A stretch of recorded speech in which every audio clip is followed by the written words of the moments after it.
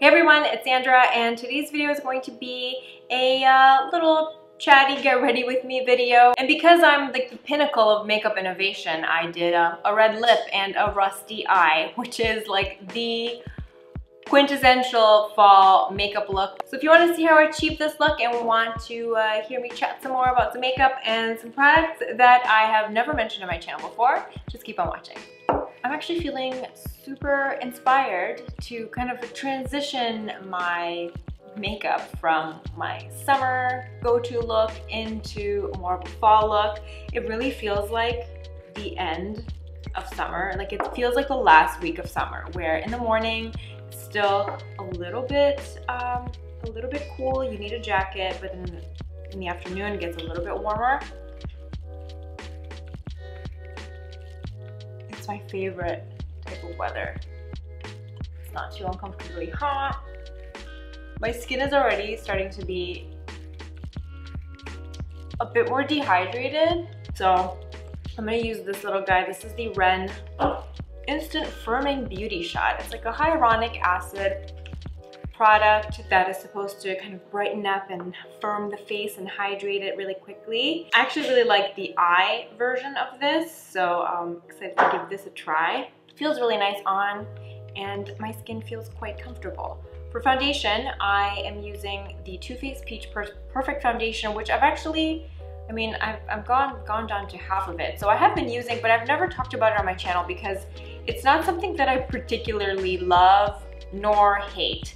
Uh, this is a foundation that truly is very good for people with oily skin, but not, not too crazy about the color range. I am the color Vanilla. I feel like the undertones of all the shades are um, a bit strange, so I don't love this foundation. I don't hate it either. I am trying to use it up. I am trying my hardest to stop purchasing new makeup and I'm trying just really hard to be more mindful about what I keep in my collection and to actually use up the stuff that I have. So right now I am going to be, I don't think I'll, I'll be talking about new foundation in a while because I really want to use up what I have. So I'm gonna do about a pump of this foundation. This is great for people with oily skin, but if you have any visible dry patches, stay away from this. Either obviously prep your skin accordingly or just skip it altogether. I think there are a lot better foundations out there if you are uh, somebody that suffers from more dry skin. But for my combination oily girls out there, this is a good formula. If you can find a good color match in it, it might be worth a try, but I definitely prefer like the L'Oreal Infallible Pro Matte Foundation, YSL All Hours. This does control oil quite well. I'm gonna do another pump. When I make the mistake of applying too much at once with this, it can get really hard to work with. It sets quite quickly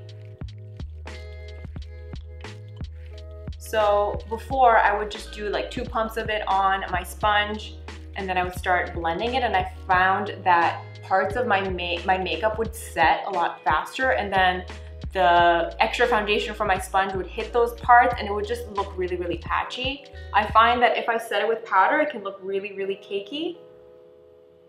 So I prefer not to do powder. And I'm gonna do it just a little bit more. I don't have my NARS concealer with me. I do have a couple of little blemishes, little scars, and I don't have like a blemish concealer with me, so I'm just using a little bit more foundation. I'm going to build it up a little bit in those areas. Bear with me, I'm using all natural lighting, no studio lighting, because I find that while I love studio lighting, and it's obviously really handy if I'm filming a video in the evening and especially in the winter time where it gets dark at like 5 p.m. So I would come home from work and it would just be pitch black outside. So I definitely need studio lights in those, uh, those situations, but I just find that natural light truly reflects colors of product and true textures a lot more accurately because studio lights can, can be really bright, especially when you use a ring light. I find that whenever I use a, a ring light, colors tend to get a little bit more blown out. So I have to try and do more color correcting work in post-production. But so far from what I can see, this is looking pretty, pretty true to life. My forehead is looking a little bit shiny, but I would rather walk around with a shiny forehead than with like super, super cakey makeup. And I used to be so self-conscious of any oiliness in my skin. I would just be constantly powdering and I would just use like powder foundation constantly throughout the day to touch up. And the older I get, the less I care. and I'm just more like, you know what, whatever. Um, it's natural, people sweat, people have oily T-zones, like let's be less harsh on ourselves. I'm using this new concealer. This is the First Aid Beauty Bendy Avocado Concealer. I feel like they're trying really hard to compete with Glossier because Glossier Stretch Concealer, this is Bendy. They also released a skin tint after Glossier did their skin tint. So I think that First Aid Beauty is trying to cater to the same demographic that purchases a Glossier. I have to say, under the eyes, I like this better than the Glossier Stretch Concealer. This blends out beautifully. My only concern is the uh, shade selection. This is shade number two. The shades are really weird. Um, the shade range is not wide enough and the undertones in the shades, I feel like they all lean a bit too peachy and not all of us want peachy underneath the eyes. Um, they're either too peachy or too yellow. In terms of performance under the eyes, as you can see, it's not shiny like the Glossier Stretch Concealer. This definitely works a lot well, a lot better under the eyes. Blends out beautifully and it does crease a little bit, but it's nothing that like just a little finger swipe can't fix. It's not as much coverage as the Too Faced Born This Way Sculpting Concealer. It's, in terms of coverage, it's on par with the Maybelline Fit Me Concealer, which is one of my drugstore favorites, but it does blend out a bit nicer and it gives a bit of a smoother finish. So it's if you like the Maybelline Fit Me Concealer under the eyes, you will really like this. This is like slightly better than it. I'm trying a new under eye powder today and I'm not sure how I feel about it just yet. This is the Becca, Becca Under Eye Brightening Setting Powder. I am almost out of my Laura Mercier Brightening Under Eye Powder. So I thought I would try something new because I've been using the Laura Mercier powder for years and there's nothing that I don't like about it. So I'm very nervous about trying something new. And yeah, I don't, don't know how I feel about this yet. I definitely, it definitely does not work with a damp beauty blender. I tried to use a damp beauty blender to apply um, the powder to set my concealer and I looked like Dumbledore. like I looked like, oh my God, it made me look so, so old and made the skin look really dry and it kind of like puckered up under my eyes and I had to like remove it and start over. A little brush is definitely a more better way of applying it and just uh, using this little Real Techniques brush to lay it down. And with this brush, I don't love it as much as I like my Laura Mercier powder. Also, I can use my Laura Mercier under eye powder to bake with a beauty blender and I never have any issues with it. So I'm wondering what ingredients in this are different. I'm gonna keep playing with it. You know, I, I always like to make a product work.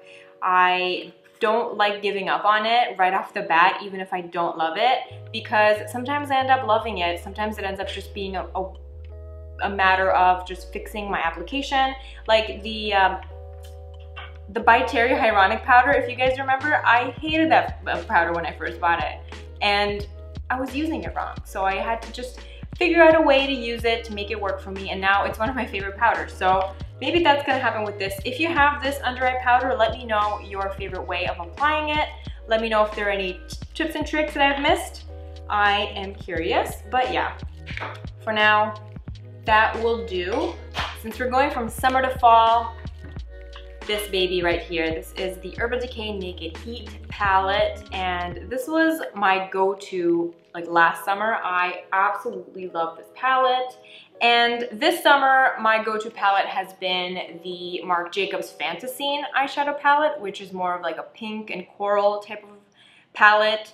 And yeah, I kind of neglected this a little bit and I felt bad. So I thought, you know what, let me try to use this more. I'm gonna apply this ounce shade, which is,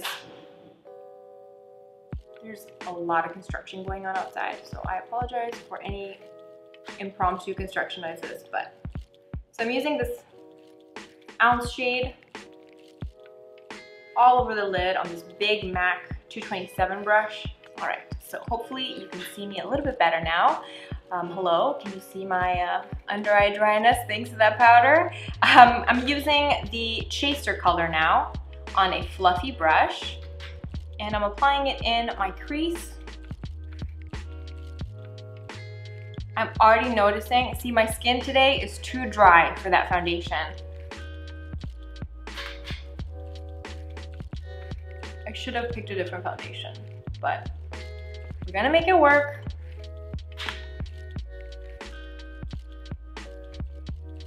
Sometimes have average makeup days. Not every day is an excellent makeup day. Now I'm taking a smaller uh, blending brush and I'm going in with the Sauced and Low Blow colors and I'm just applying them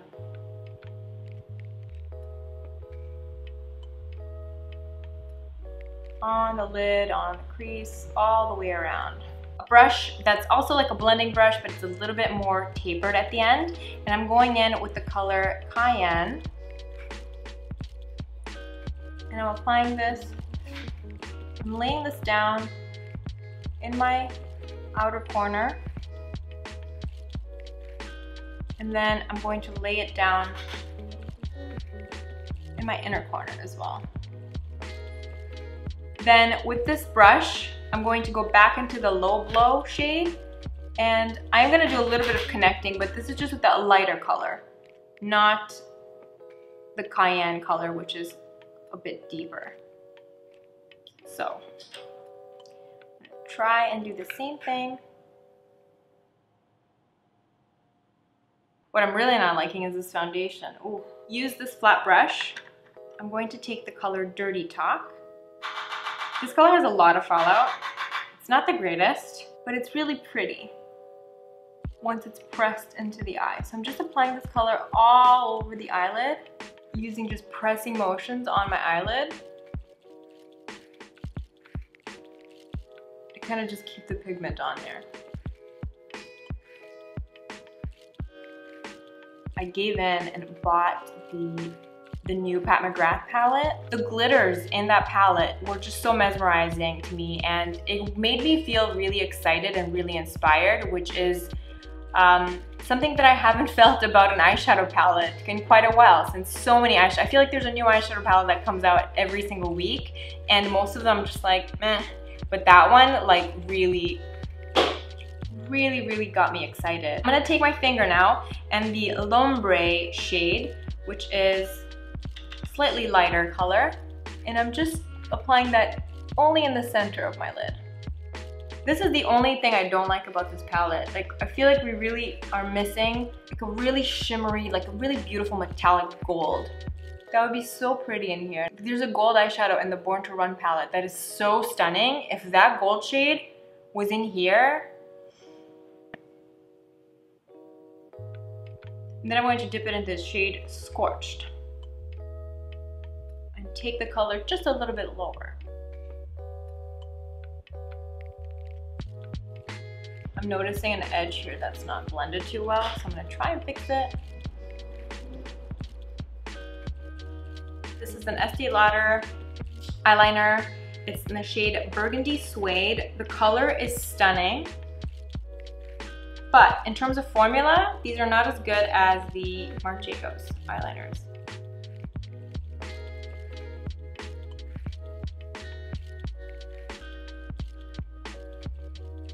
Now to me, it looks like this eye is a little more out there. So I'm just using my beauty blender with whatever product was on it from before. And I'm using it to clean up that edge a little bit this is like summer in a tube for me. It's not really a tube, it's just a a palette, but it's a little highlighter, bronzer. Quite shimmery and it's from, um, it's another, it's a Chrissy Teigen and Becca collab from this year. And it just gives gorgeous dimension. The bronzer part is matte, so I'm just dipping into the bronzer part right now with this little angled cheek brush. Quite a dark color, so I don't think it's that suitable if you have more fair skin. For brows, I'm using the Hourglass Arch Brow Pencil. Then for brow gel, I have scoured the internet for extra tubes of this. This is my favorite brow gel and it's now discontinued unfortunately, so I'm not even gonna talk too much about it, but I have a couple tubes of it. A lot of people love the Charlotte Tilbury Legendary Brows and the Tom Ford Brow Gel and the Hourglass Brow Gels. Love me some tinted brow gel because you can see how it just kind of softens my brows. For mascara, I'm using the Kjaer Weis mascara, which is lovely. This is, in terms of like all natural organic mascaras, this is the only one that I have found so far that does not transfer. This is like, it's like Glossier Lash Slick, but with more volume. And what's cool is that with this product, you can buy refills for it. Now for the lip, we're going to do a red lip, which is a fall staple. I am toying with the idea of doing something like 30 days of red lipstick in October and where just wear, and it's like a personal challenge for me too to kind of help me go through my red lipsticks in my makeup collection and kind of tone things down and figure out what I really love I'm gonna keep.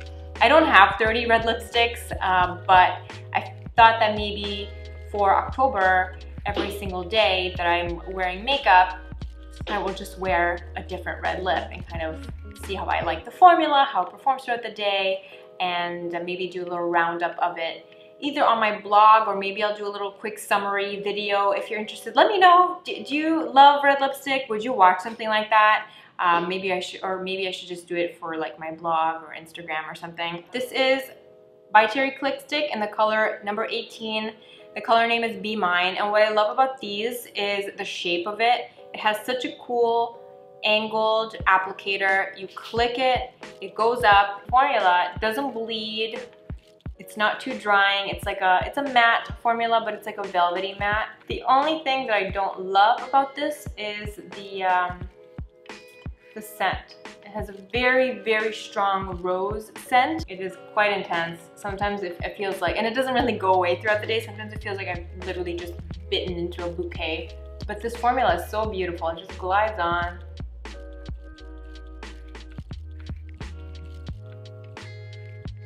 All right, and this is the finished look. Not sure what this was, but um, I actually really, really like it. I love the way it turned out. Let me know what makeup looks you tend to gravitate towards in the fall. I hope you're having a lovely day. Have a wonderful weekend, and I will see you next time. Bye.